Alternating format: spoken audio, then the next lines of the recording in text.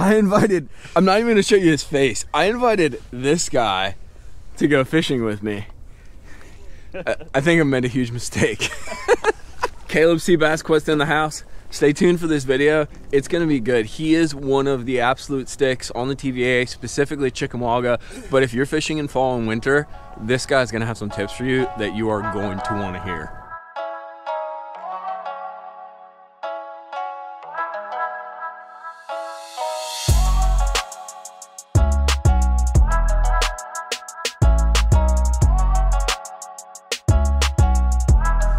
You ready to go fishing?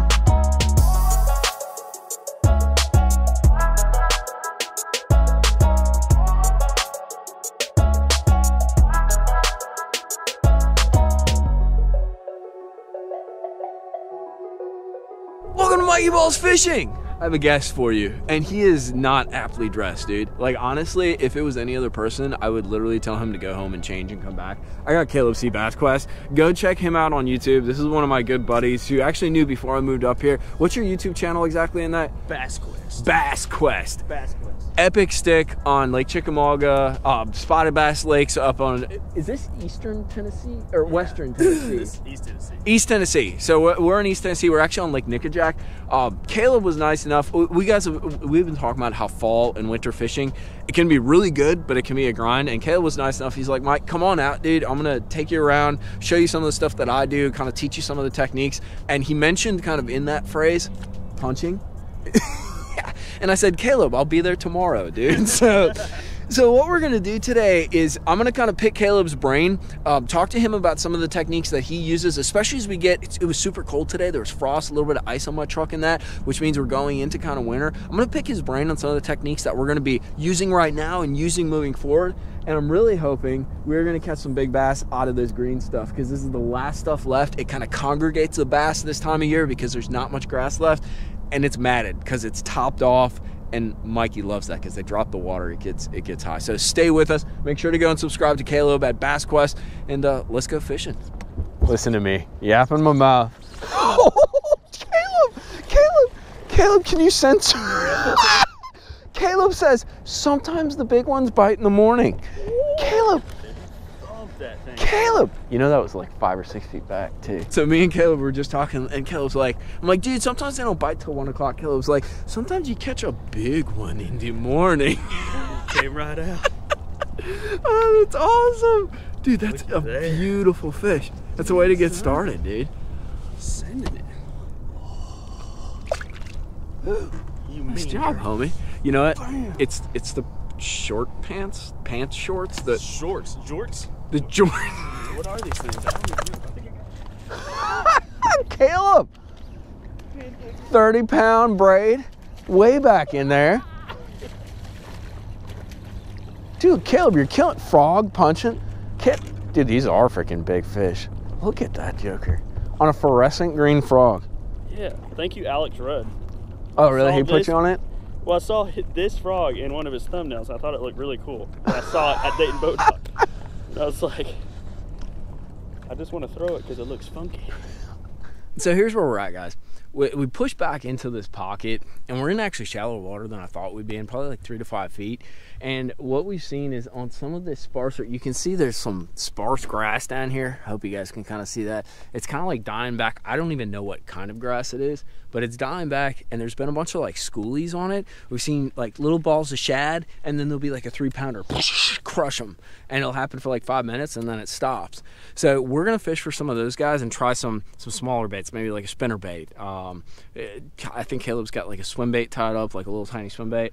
We're gonna throw those around the sparser stuff, and then what we're gonna do is the theory is is as the sun kind of like rises and gets super high, those jokers will push in, and what we got right here is one of those cheesy thick like goo mats. And actually, Caleb's doing it right now.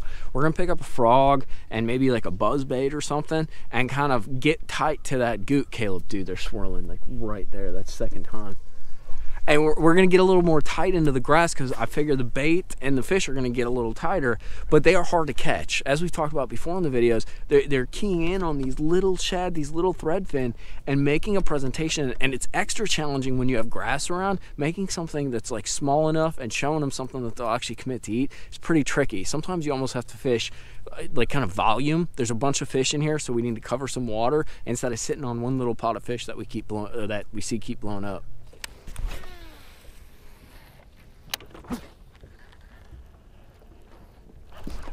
Got her. Yeah, boy. I don't know. She tugged on it though. Oh yeah. Oh dear. Oh, what have I done? What have I done?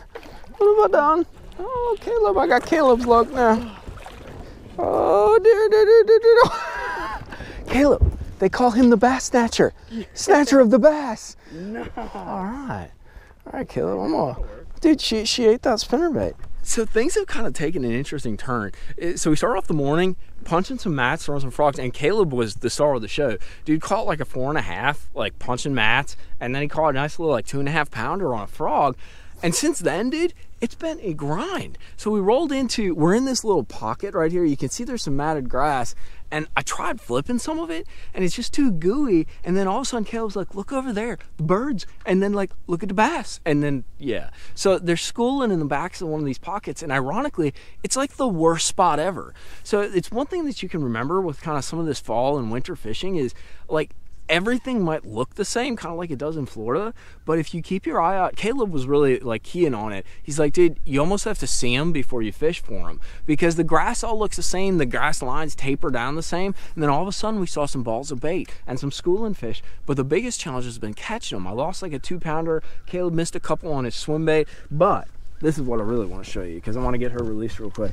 Yeah. Hello. Hello. It's a nice four four change and she's angry. And I caught it on. We just talked about a while ago. Well, come here. I want to get you going, and then you're good to go. Come on, come on, come on. There you go. Check that joker out. That's dude. That's a broad fish. Very skinny, ironically. But let me get her. It could be if it, yeah, if it ate right. Oh, let's get her released really quick. Go back to your, back to your place. So what I actually caught her on, we were talking about spinner baits in some early videos, and I mentioned how much I'm absolutely in love with this joker right here. And we have that mini bait problem, which is exactly what I talked about, but it's this mini me. Um, it's by Spot Sticker, but it's it's a compact. This is actually a painted blade bait. I think one of you guys in the comments mentioned, "Hey, pick up some painted blade ones." But it's it's just a very compact spinner bait, and I'm burning it, dude. We were trying to sit on these fish that we saw schooling and and try to actually like throw a million baits at them, figure something out. And finally, Caleb was like, "Dude, what do you want to do?" I'm like, "Well, I guess let's move around a little bit because we've seen them pop up in different areas." So we started just moving the bait around because of those there's got to be like 50 60 fish back here that we've seen. Of those there's going to be one or two stupid ones. So if we kind of like drift across We make some yes and we need to find the stupid ones because the smart ones we can't catch those. So we're just kind of drifting across this flat super shallow three to five feet and um, i'm going to burn this blade maybe throw a little bit of a frog but we're seeing more fish than we can catch right bog? Yes it's so sad. But yeah grab a spinner bait you got a tiny bait? Grab a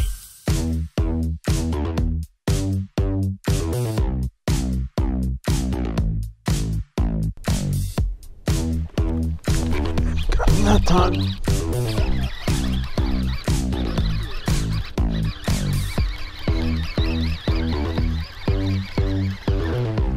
as big as some of the other ones we're seeing, guys, but we're finally catching them on a frog. Oh, I don't know how you got. You're gonna get her back real quick. Just nice little two pounder.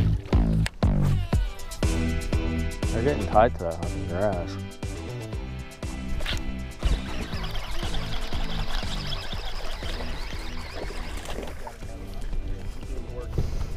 That's right, Caleb. You just you just stay. Stay, Caleb. Well, the numbers are kicking up a little bit, guys. Caleb's working back there, but I'm starting to figure something out. What I'm actually doing, I was just telling Caleb, you can see those cheese mats out there. I'm actually throwing the frog onto the mat about three or four foot in and just slow twitching it out. And when I hit that edge of that mat, I just slow down and slow walk it. I'm actually running, this is a, a medium heavy rod, so it's not like your classic frog rod, and it allows me to kind of walk the frog in place. I don't know if it's a big deal, but I mean, that's two in a row after we haven't had a bite for like 30 minutes, so maybe there's something to it.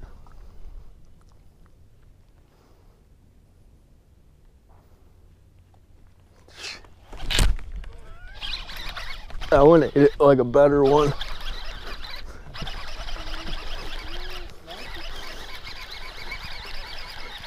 Dude, this fish, so this is a little better fish. And it just sucked it down, dude. Like it didn't even didn't even eat the thing. Can you give me them pliers that are in front of you, bud? That right in that tray, the red, go down straight in front of you by the exacto. Uh, like the giant red ones right Yeah. my face. Those are the ones. Oh no.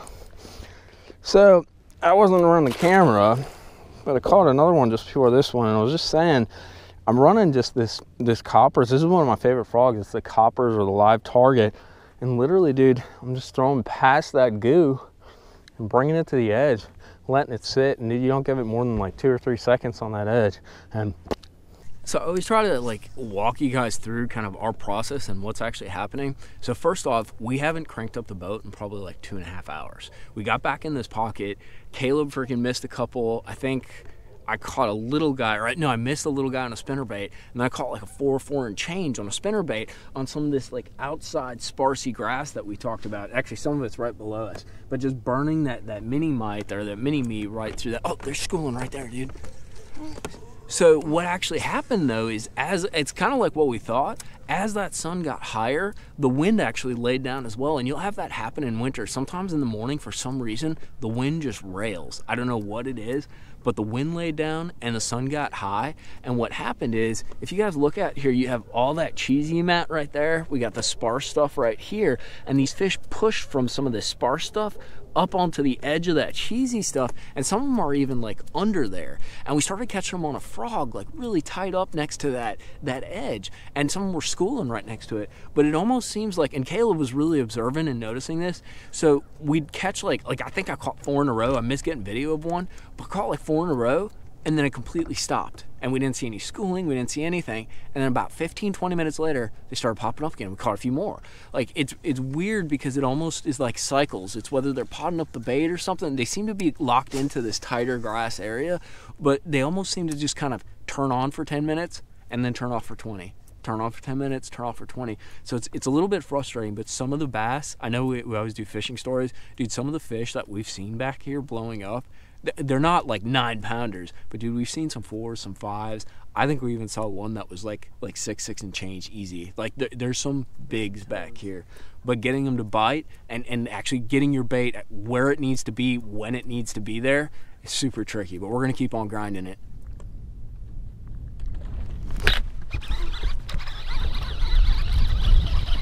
dude, just inching it along that edge. Dude, you guys, did you see how he smashed it? I mean, not a big one, but yes, Bog, you're excited. I'm excited. Everybody's excited. Get Bog. Yep, look at this crap. Oh. I don't know if I hooked him right. Same point, guys. So this is what frog fishing is on the TVA.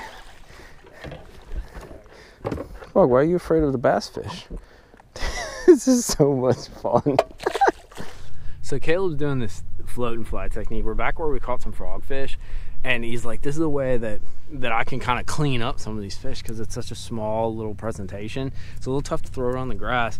But he's basically got a giant leader, a little slip bobber right there, and Yeah. some little minnow kind of looking thing on a jig Absolutely. head. It's an oversized crappie jig is all it is. So we're crappie fishing for bass, but he was telling me it's a great way with with these fish so keyed in. I've tried it a few times and I haven't been successful at it, but he said with these fish so keyed in on these little baits, you know, we we definitely caught some on a frog right here, and it had some big ones blow up, and we missed them.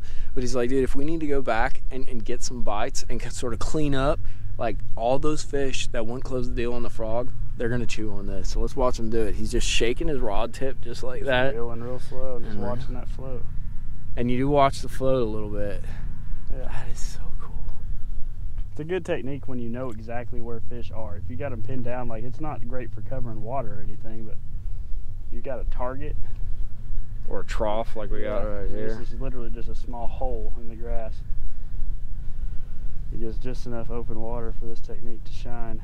That wind's got that float so far down sometimes when I'm hitting something. Ooh, dude. Caleb's got himself a manfish. I didn't even see it. It was better than the other ones I was catching, I think. Is that a bass? Oh yeah, Caleb. Oh, yeah. That's old Stout Stouterson right there. I think Bog's afraid of your floating fly. Too powerful. These guys are big old heads on them, dude. You are absolutely killing it with that thing. That's kind of dutiful. Bog, Bog, chill, buddy.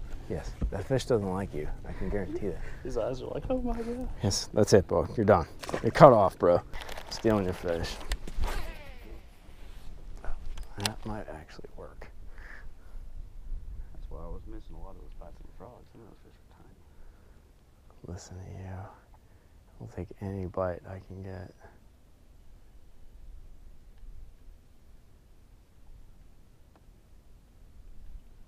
This is why these, you know, like these frostbite tournaments that are happening right now. I was winning like all of them last year. You guys were coming. I remember like, that. They're like, oh, you know, we worked our asses off. We got five fish, four fish. Get it. A little better one. Some of them were catching like 40. Stay on, stay on. Oh yeah. Oh, Sorry, Bob. we're gonna we're gonna timber here.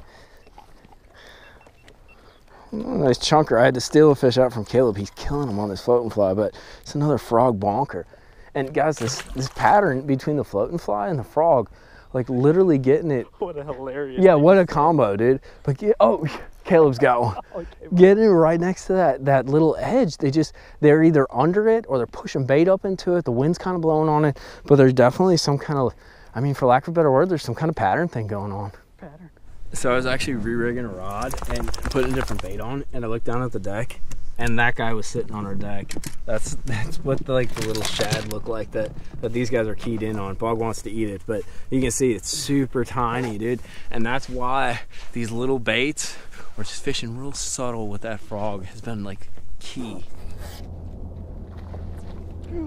just shot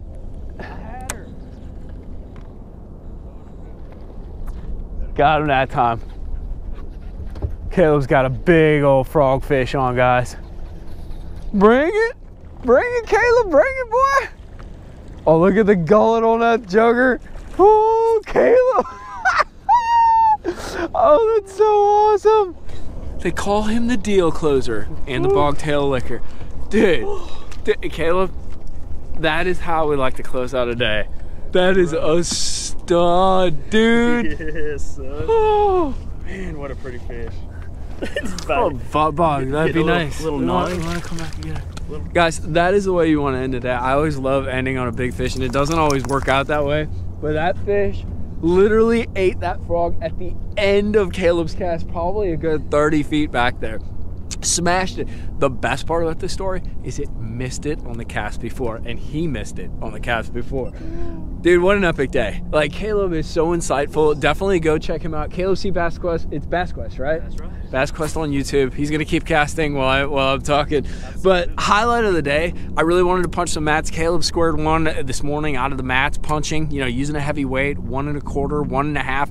Great way if you still have some junk mats, which are like blown in mats, or if you still have some grass that's still around, that's topped off, as, especially as they drop the water. But the highlight really was this guy, that little um, live target frog, and then where's my spinner bait at? This guy, the mini me. Dude, that thing is absolutely mean.